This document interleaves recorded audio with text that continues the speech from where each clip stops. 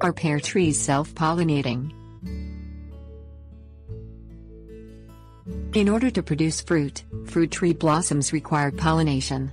Pear trees vary in whether they can pollinate themselves or require a second variety for cross-pollination. Types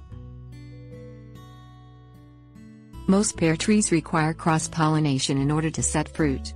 Anjou, Bartlett, Comice, Hardy and Kieffer are partially self-fruitful but produce larger yields of fruit if allowed to cross-pollinate. Seckel cannot act as a pollinator for Bartlett. Significance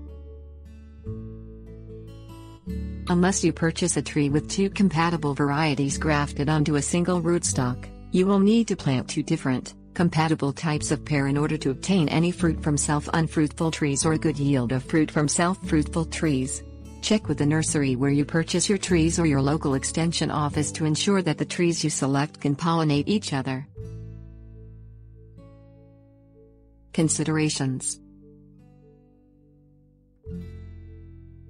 Pear trees rely on bees for pollination, yet their blossoms produce less nectar than other flowers, so attracting bees can prove a challenge.